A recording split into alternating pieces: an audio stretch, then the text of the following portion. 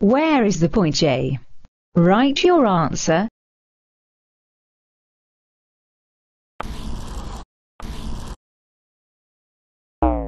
Let's look at this together.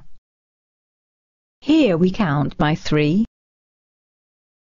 30, 33, 36, 39, 42, 45, 48, 51, 54.